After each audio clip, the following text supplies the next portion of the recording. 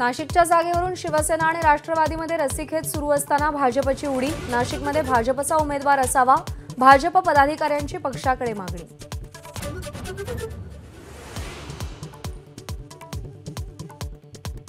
पंकजा मुंडे येत्या बुधवारी उमेदवारी अर्ज भरणार. बीड शहरातून भव्य रॅली काढणार.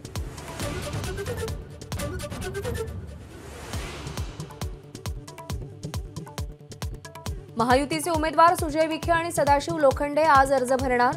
मुख्यमंत्री आणि दोन्ही उपमुख्यमंत्री उपस्थित राहणार.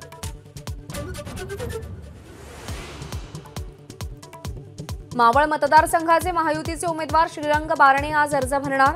मुख्यमंत्री एकनाथ शिंदे आणि उपमुख्यमंत्री अजित पवार रॅलीत सहभागी होणार.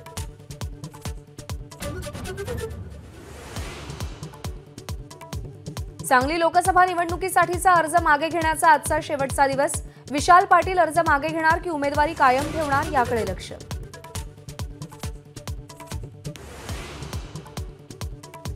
नागपूर शहरात विजांच्या कडकडाटासह पावसाच्या हलक्या सरी तापमान कमी झाल्यानं नागपूरकरांना उकाड्यातून दिलासा.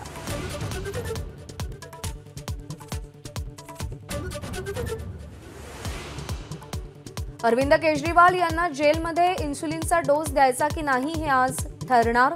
दिल्लीमधील राऊज एव्हेन्यू कोर्ट थोड्याच वेळात निकाल देणार. संरक्षण मंत्री राजनाथ सिंग सियाचिन दौऱ्यावर अतिशय आव्हानात्मक स्थितीमध्ये भारताचं रक्षण करणाऱ्या जवानांसोबत राजनाथ यांचा संवाद.